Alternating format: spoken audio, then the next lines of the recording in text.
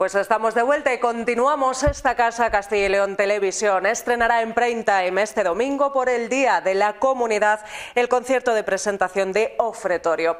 Es el nuevo disco, el sexto ya de su carrera, del músico folk Luis Antonio Pedraza. Antes ha querido estar esta noche con nosotros. Luis, bienvenido. Buenas noches, bienvenido. Buenas noches, ¿cómo estás? Encantado y bien hallado en esta tierra que ama el folclore, que ama sus raíces y además se preocupa por seguir cuidándolo y manteniéndolo. Así es, lo estábamos comentando, ¿verdad? En publicidad, lo rica que es nuestra comunidad en cuanto a tradiciones y costumbres. Totalmente, tenemos una comunidad muy extensa, la más extensa de toda la, de toda la península ibérica y además la más rica en cuanto a la cultura. Fíjate, Zamora, Soria, las, los contrastes, las diferencias.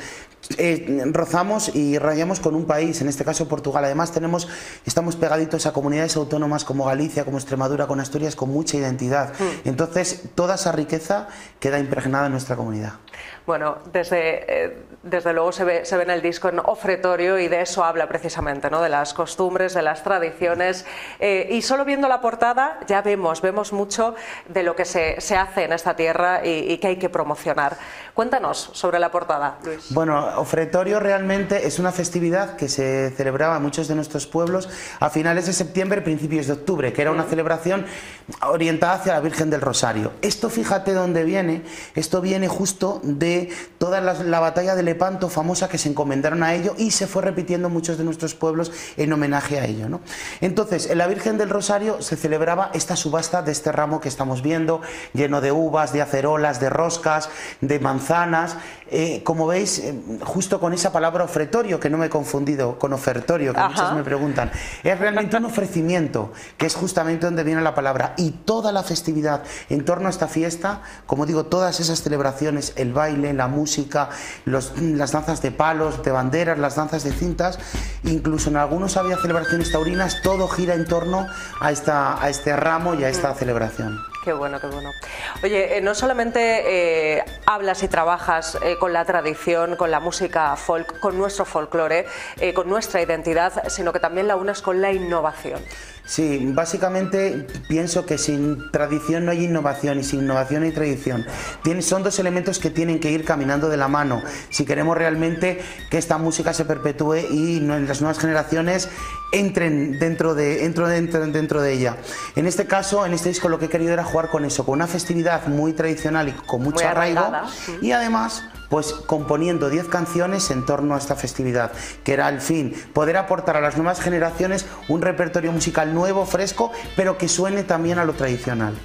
¿Crees, Luis, que eh, en este mundo, y lo comentamos en muchas entrevistas, eh, donde prima eh, un género musical o dos y casi parece que el 99% ¿no? de la música es eso, hay cabida para el folclore? ¿Sigue habiendo hueco? Sigue habiendo hueco. Yo, de hecho, tengo una frase que suelo decir que realmente hoy en día lo transgresor y lo subversivo es precisamente interpretar música tradicional. Lo valiente, ¿verdad? Claro, porque lo otro es muy fácil, hacer hip hop, hacer rock o hacer pop es muy fácil, o reggaetón, pero lo difícil es, en los tiempos que vivimos hoy, decir, no, no, yo voy a hacer un camino musical, voy a crearme mi propio camino musical en torno a instrumentos como el que tengo en, mis manos, que tienen más de 900 años, mm. que ya vienen prácticamente de la época románica, lo tenemos en nuestras catedrales y que han ido pues sobreviviendo y reconvirtiéndose a lo largo de la historia. Han tenido eh, el, gusto ¿no? de, llegar hasta nuestros días y de que nosotros los podamos escuchar. Bueno, te estamos escuchando un poquito, pero ya que te tenemos aquí, por favor, Luis, háblanos de esos instrumentos que tienes en la mano y que, como decimos, han llegado hasta nuestros días.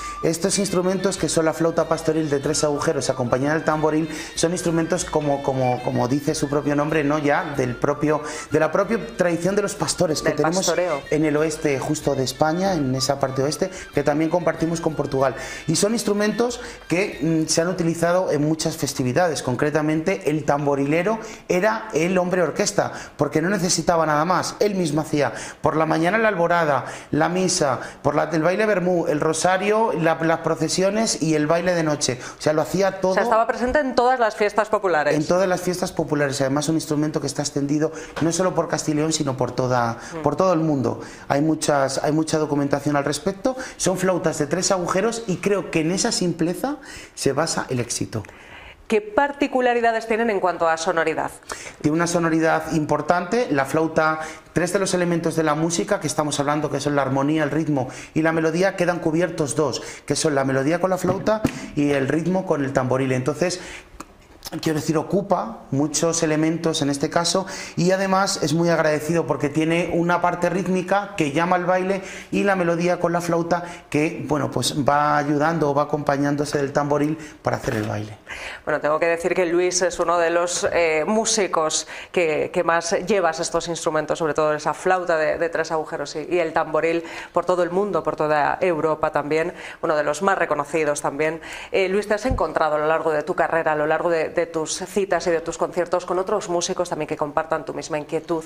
Muchísimo. Yo he presidido y he dirigido pues casi 10 años la Asociación de Tamborileros Zamoranos, en este caso, y hemos hecho muchísimos encuentros. Y, en este, y, en, justamente en estos encuentros que hacíamos y en estos festivales dedicados a este instrumento he podido conocer pues a músicos de, Euskadi que tocaban el chistú maravillosamente, que son primos hermanos o la chifla aragonesa o en este caso la, flauta rociera. Bueno, y, y bueno, luego en el mundo, en Francia, además es un instrumento muy, muy trabajado, incluso en Japón está mm. presente este instrumento. Por eso te digo que algunos quieren asociarlo al camino de Santiago o a la transhumancia, que esto, esto está extendido por todo el mundo, es un instrumento que, bueno, pues que tiene una identidad muy fuerte, porque el mismo instrumentista se acompaña de ritmo y de melodía, y esto pues ayuda, como digo, a interpretar y, a, y al baile, sobre todo, que es un instrumento muy pensado para ello. Para ello. Luis, pues te vamos a ver tocar en, en nada, en unos minutos aquí en directo en, nuestro plato, pero antes vamos a volver a hablar del disco de, Ofretorio. ¿Cómo son esos 10 temas? Esos 10 temas están basados en 10 ritmos propios de, la tradición musical castellano y leonesa. ¿no? En este caso hay jotas, hay fandangos, hay charros, hay alboradas, hay charradas, hay toques de procesión, hay, como digo, una un elenco importante de los ritmos y además 10 temas que está también muy pensado porque, bueno, pues resumían un poco toda esa fiesta, todo eso que existía en torno a esta festividad, a este ofretorio, a este ofrecimiento, todos esos bailes que tenían que ver con un baile de la bandera, con un baile de cintas, muy importante también los palos, los paloteos, que nosotros tenemos una riqueza enorme en nuestra comunidad, luego las alboradas, esos toques para llamar a, a los vecinos a que se pusieran el traje de domingo y salieran a la fiesta, bueno, pues todo, y las jotas, ¿Qué voy a decir de las mm. Jotas, que es el género estrella de nuestra comunidad, ¿no? Que en este caso, pues lo que he buscado ha sido que sea un disco muy completo, que intente representar un poco la tradición desde el siglo XXI y que, bueno, pues que, como decía antes, que represente y que aporte algo nuevo también a, la música tradicional castellana y leonesa.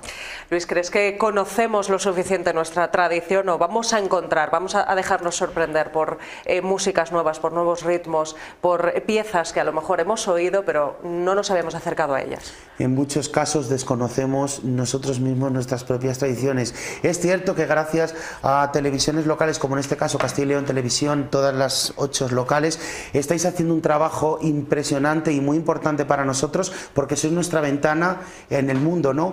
No todos los medios a nivel nacional e internacional dedican espacios como este a, nuestra, a nuestros instrumentos y a nuestra cultura.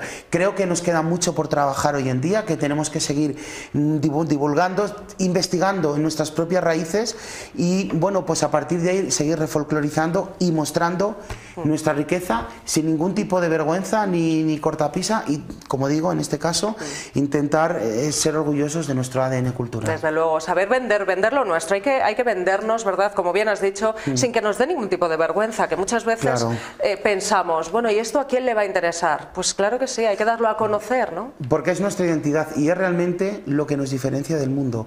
Todas estas tradiciones, aquí en Segovia, como sabéis, pues todos los bailes de procesión, en este caso, no solo a nivel, no solo a nivel dulzaina, sino además es un folclore riquísimo y se ha llevado por el mundo, ¿eh? grupos como Nuevo Mestero mm. o ahora ya las nuevas generaciones de free folk como digo, es, es el trabajo, poder conocer la tradición. Yo siempre digo que interpretar música tradicional es como conducir. Tú vas en el presente en el coche, ¿no? Tienes una luna que te permite ver lo que viene en el futuro y además un retrovisor que te permite no olvidar el pasado. Pues en ese juego de tiempos tenemos que estar los músicos tradicionales, vivir en el presente, no olvidar el, pasado y además tener esa vista o esa intuición de lo que va a venir en el futuro. Así es, qué bonito, qué bonito, Luis, es verdad, ¿no? Que tenemos mucha suerte de, mm. pertenecer a, esta comunidad, ¿verdad? Y, a mm. nuestras provincias para eh, disfrutar de, la música tradicional que no se ha perdido gracias a músicos como vosotros. Luis, mm. vamos a hablar del concierto que vamos a poder disfrutar en el Día de la Comunidad, producido por, por esta casa, por Castilla y León Televisión. Nos vamos a un anuncio muy rápido y seguimos hablando de ello, Luis.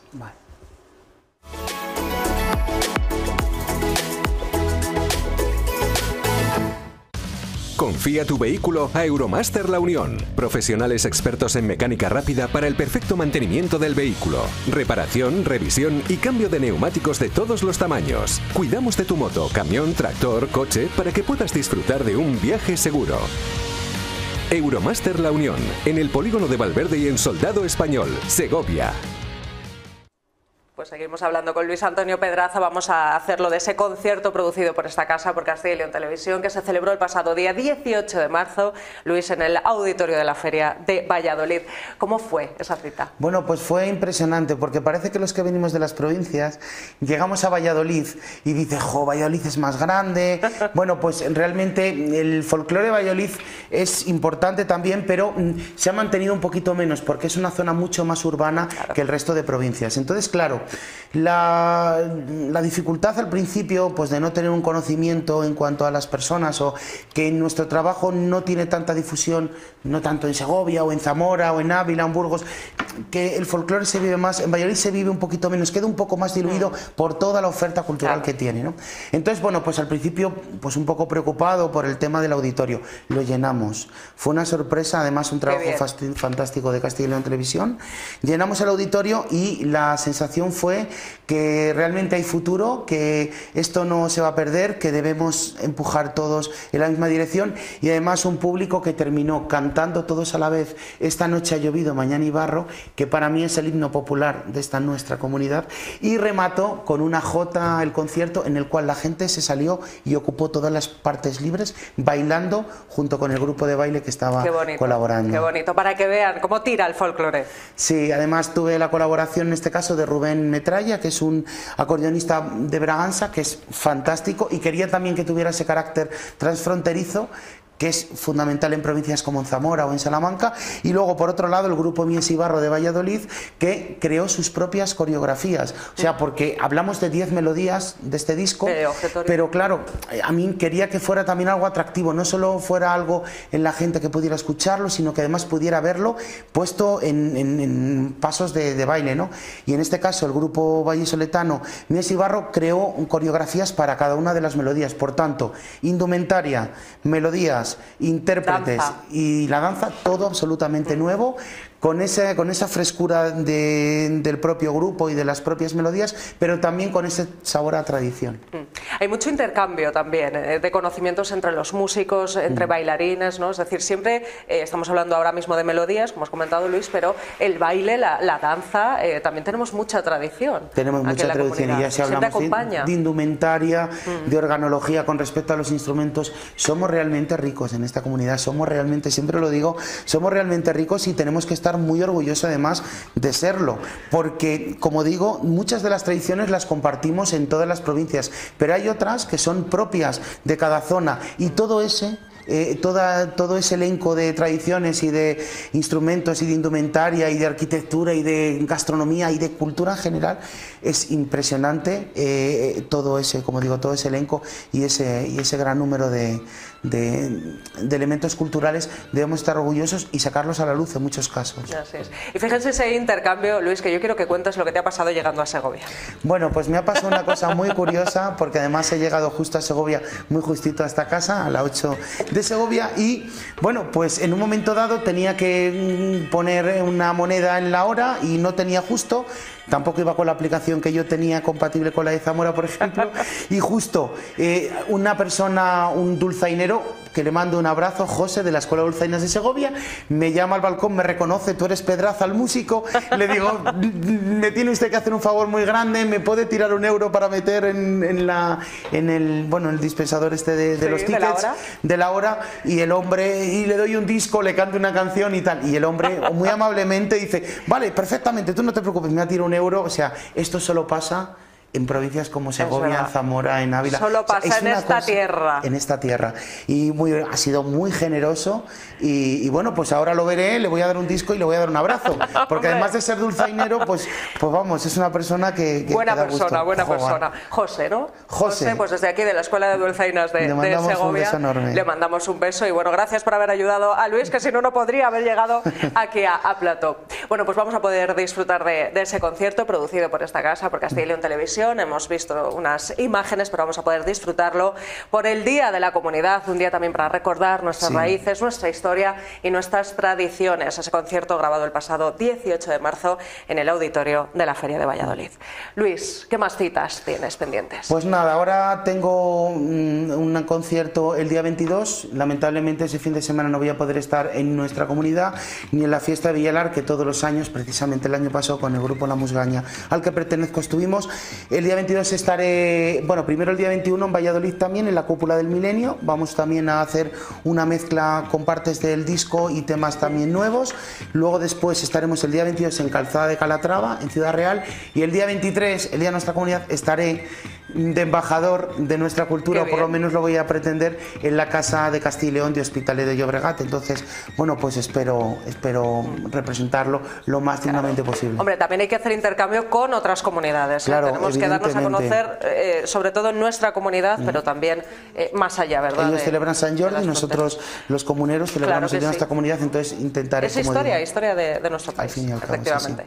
Luis, muchísimas gracias por haber estado con nosotros. Muchísimas gracias a todos equipo por seguir dejándonos estas ventanitas, estos espacios donde podamos difundir nuestra música. Un placer. Y te vamos a escuchar. ¿Qué, vamos a escuchar? bueno, pues una jota, que yo creo que es lo el género, como digo, común a las nueve provincias y que más nos representa a los castellanos y leoneses. Voy a tocar una jota, nueva composición llamada Argusino.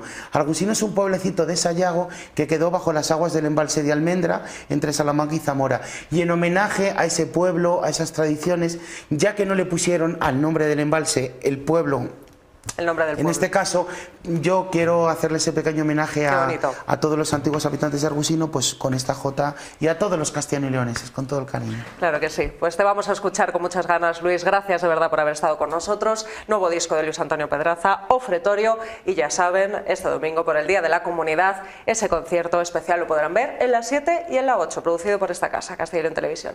Gracias, Luis. Muchísimas gracias, un placer. Yo me despido aquí, pero escuchamos a Luis Antonio Pedraza después de publicidad.